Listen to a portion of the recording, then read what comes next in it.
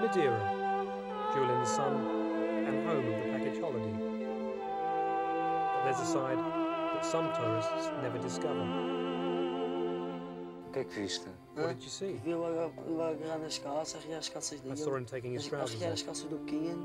then take the boys' trousers off. isto estuvo isso. Aonde é que foi isso? Where did that happen? praia, pela praia. Do On the beach.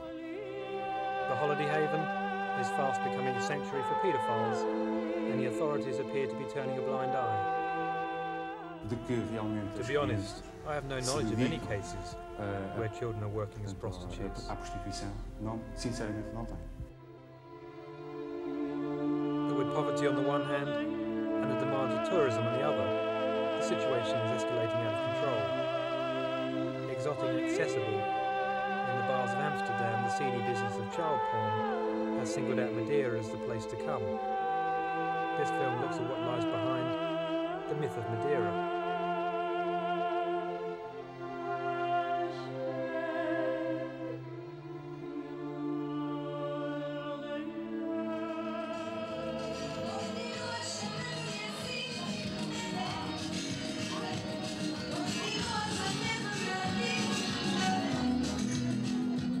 Despite its reputation as a fun resort, Portuguese Madeira is one of the few places in Western Europe where children still beg on the streets.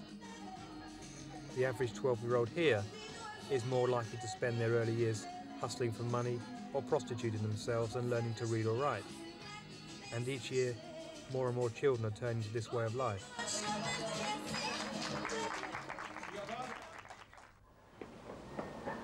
Away from the bright lights, communities like Camara dos Lobos are poverty ridden shanty towns. Here, the combination of destitution, desperation, and large families produces an endless stream of street children vulnerable to exploitation.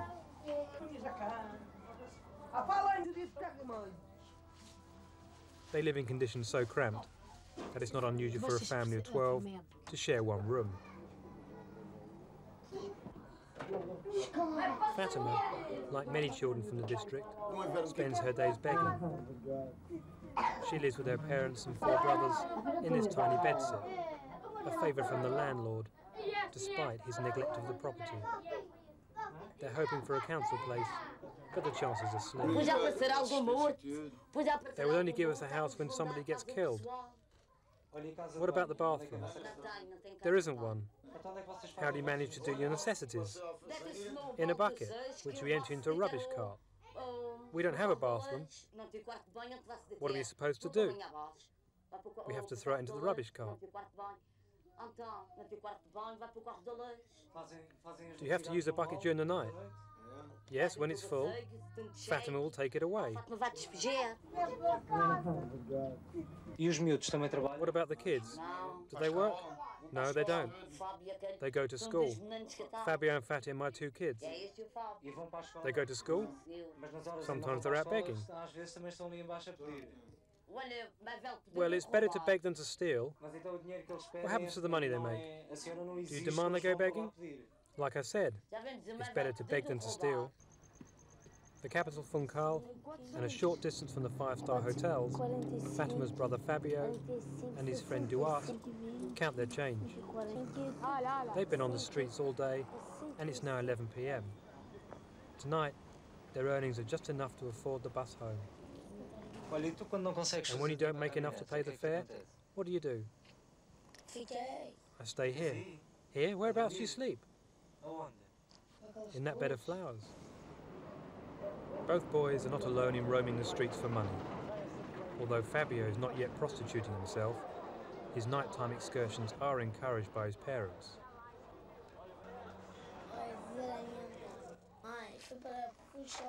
I'll tell my mother I came to Funchal, but there wasn't anyone, so I caught the bus home. She'll tell me to wash my feet, have a bite to eat, just a little bit. Afterwards, she'll send me to bed, and tomorrow morning I'll come over here to Funchal and earn 2,000 escudos. E fiquei para Funchal das Contes. But they never had a chance to catch the bus. A few minutes later, they were arrested for what the police said was begging.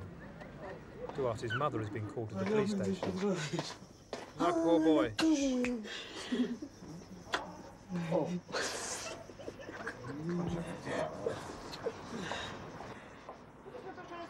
We saw him in the marina begging for money, and that's illegal. Yes, I know it's true. We understand that begging is better than stealing, but we have orders from above and he's not allowed to do it. But I didn't ask him to do it. Often begging is not the real reason young boys are arrested. Duarte was later caught in a public toilet with a German man, and the likelihood is it wasn't the first time. Right. But with parents grateful for their children's earnings, the net of opportunity is cast ever wider. A juvenile's contact with tourists easily goes from begging to prostitution. Tem anos, estamos, estamos também This guy called Paolo Estamos também pau. Eu fui, eu fui com. I went with him and gave him sex for 2,000 escudos. Foi. Tre- quatro para Then there was 4,000 for Felipe, quatro- quatro para 4,000 for quatro Combate. Felipe quatro para Altogether, that makes E 10,000. dois para o outro. 4, 4, 2, dá 10. Paolo and Manuel are both 16. They're part of a group of friends, some as young as 13, who regularly prostitute themselves. Because of the money to be made from sex, they often spend days at a time on the streets. Foste com muitos Have you been with many homosexuals? Several. Quanto é que eles te How much did they pay you? 3, 4. Three or four thousand escudos? Eu fui com I went with an Englishman. inglês. He gave me over 8,000 Matias, escudos. É de fora. Ele deu 8 contos e tal. Para fazer What quê? for? Vou For a fazer blowjob? horas. Tu é que Did you fazias? give one? Não, No, he gave one. Edgar Silva is a member of parliament. He argues that government policy is allowing child abuse to take place. Problem is being camouflaged, and it will be camouflaged as long as the political authorities continue to put up with it. It's tourism, especially the tourists implicated, that's creating child prostitution, not the children themselves. But tourism is crucial to Madeira's economy, and the authorities know they cannot afford to scare off the foreign influx. For paedophiles, official laxity has turned Madeira into little more than a safe haven in which to practice their abuse.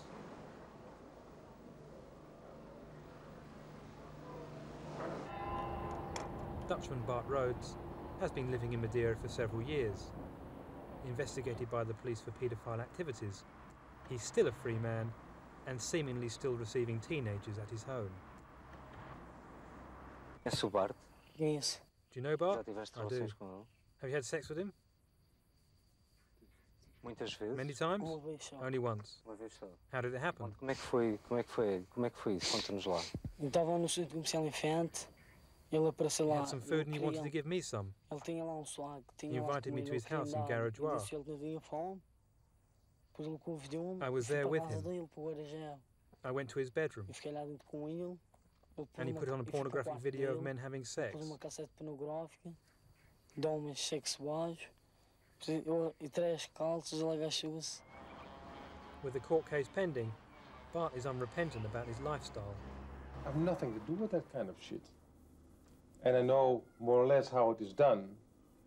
But again, But you have restricted movements here in, in Madeira, Yeah. haven't you? of course that's that's normal, isn't It's it? normal. I don't have. No, no, no, no. Fine with you. F- First of all, what what is your what is your uh, definition on pedophilia, Dish? Tell me, what's your definition on that? What's a child for you?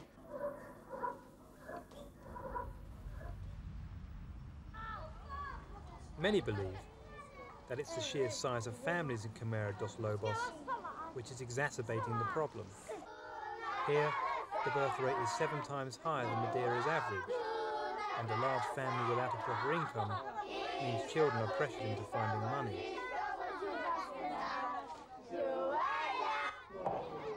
For the fishermen, a constantly pregnant wife ensures marital fidelity. They're rarely at home looking after the children, and when not at sea, they're gambling, drinking, or preparing for their next fishing expedition. With role models often absent, It's no wonder the children become difficult to control. With truancy now a major problem, it's often the parents who refuse to let the authorities intervene. Quando detectamos este tipo de situações e digamos que When we are aware of this type of situation por banda dos pais para poderem and the parents will not give us permission to step in, eh, temos necessariamente que encaminhar we have to take the case to the Children's Tribunal. para o Tribunal de Menores. No sentido, porque Because in my eh, view, é, na minha, na minha perspectiva, This is a dangerous uma- situation. Uma situação de risco. and the Children's Tribunal tal, terá que has to have the power eh, to take away parental Tribunal de Menores responsibility. a decidir por uma eventual limitação ou, ou supressão do exercício da paternal. But in many cases, parents are turning a blind eye to the abuse of their children. This shocking video, which came to light recently, shows paedophile activities with 10 and 11 year old boys. It was made by a Dutchman and a Belgian and was distributed in Amsterdam. Robert van der Naten and Norbert de Rijk have been making pornographic films in Madeira since the early 90s. Their hunting ground is Camara dos Lobos, and their meetings with boys are later sold to the underground paedophile trade. At first, we thought they weren't gente They asked us to go for a walk, to go to the hotel and have dinner. Só que eu nem pensava que eles eram paneleiros. So we went to the hotel. eles começaram a fazer sexo Only I didn't know they were pufters. Cá feito-me banho. They started having sex with these guys começaram a filmar. and I went to take a bath. Eles me deram a, a máquina They were filming filmar a eles, depois eles and later gave me the a camera so that I a could film mãe. them. Pronto, isto fica de sempre. Then they filmed me, começaram a fazer and that was it. They were having sex. What kind of sex? I don't know, sex. Oh, eles fazer relações sexuais. Eles falavam de cinco. One told me to take off my clothes. And I said, I'm sorry, I won't. Olha para ele disse, desculpe, mas não ter. Estava nervoso. Estava I was nervoso. quando era nervous menor, tinha medo. estava a because I was a minor. Ai, não ter. I was scared. Eles, era eu meter a roupa, não para eu comecei a tirar. But afterwards, Eu, depois eu fiz mal I took them off. Por dois, eles darem sabonete, shampoo. Marcel Vervloesem is an anti-paedophile campaigner. From the headquarters of Morkhoven, Belgian non-governmental organisation, his investigations into the disappearance of minors unearthed an international paedophile network covering Holland, Germany and Portugal. In the subsequent raids, the police found several videos produced in Madeira, but Marcel believes these are just the tip of the iceberg. Dat de films die gevonden zijn, We know that in certain er bars in Amsterdam, Maar we weten ook in other films shot in Madeira Amsterdam were also er shown. andere filmen vertoond It's zijn clear Madeira. there were more dus het films made. duidelijk dat er meerdere films zijn Because the gemaakt. films were found in dus different gezien dat de locations, films ook op there was obviously material zijn which was gevonden, is distributed and sold. dat de films zijn I don't know how many films we're talking about en here. aan anderen zijn verder All I know for sure Dus om hoeveel films is that it involved dozens of children. is niet geweten. Wat ik wel weet is dat het om tientallen kinderen gaat. What do you think about these men? É, até se matar eles, eu If I could kill them, I would. I hope I don't see them again because I would go to tenho prison for 30 30 anos de years. cadeia. Cada. Porque achas que Do you think you're abused by them? Abusar é abusar. They abuse me a lot. Tu costumas pensar nisso? Do you ever think about it? Deixa para pensar I think about it all the time. Marcel has few doubts that the film produced in 91 by De Rijk and Van der Naten is typical of materials sold in some Amsterdam bars, which promotes the image of Madeira as a paedophile's paradise. Dus de bedoeling is waarschijnlijk geweest van The intention was eh, like, here are some videos, we filmed it we hebben ze zelf ourselves. What do you think of it? in Madeira. Wat vind je van See how easy it is to pick up a child. dat je kinderen kunt krijgen. We don't have to pay them much. We give them a little something to eat, geeft ze wat kleding, some je geeft ze een clothes, a few coins, a few cigarettes, en ze gaan and we'll go with you. de bed. Dus It's very easy. Gemakkelijk in Madeira. This was their is de bedoeling intention. de. They filmed their hebben own material, demonstrating how easy zelf it hebben is laten zien to hoe abuse gemakkelijk children, kinderen konden misbruiken, how they could easily find dat ze konden children, and how Madeira could become a focal point for all the referentie voor alle paedophiles. All you need is a few die, die de coins, a few hebben om op cigarettes, reis te gaan and they'll go Madeira, with you. om daar dan de kinderen te gaan gebruiken. But despite the evidence, the local authorities refuse to accept there's a wide-scale problem of paedophilia on the island. Câmara de Lobos não é o Camara dos paraíso. Lobos is not a Nem Câmara de paedophile's paradise, nem a neither Camara dos Lobos or Madeira itself. E, e com que There might be, and are for sure, children who sell their bodies. But when an island develops a reputation for offering child sex, any and every youngster is vulnerable to being approached.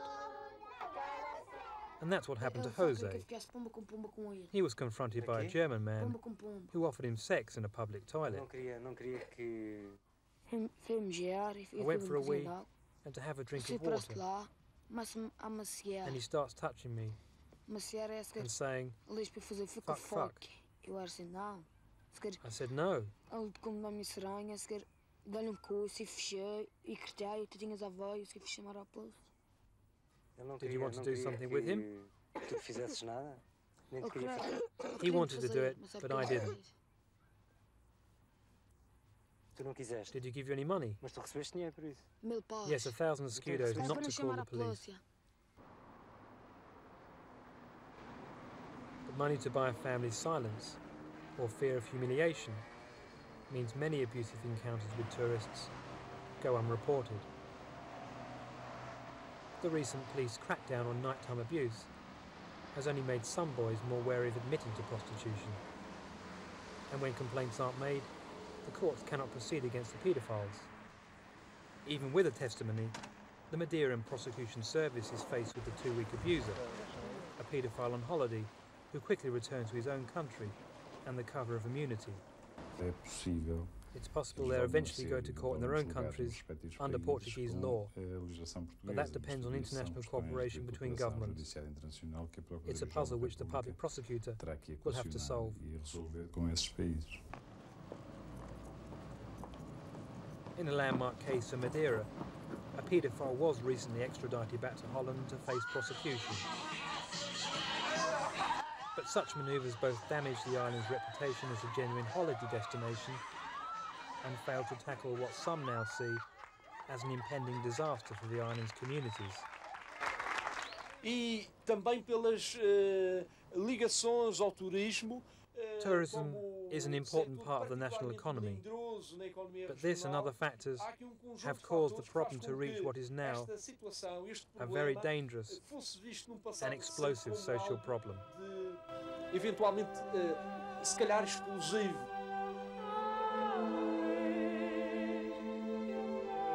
As the island begins its war against the paedophiles, many are asking if Madeira can maintain its image as a tourist paradise. To do so, they will need to tackle the culture of poverty. Only then will its growing reputation as a paradise for paedophiles be erased.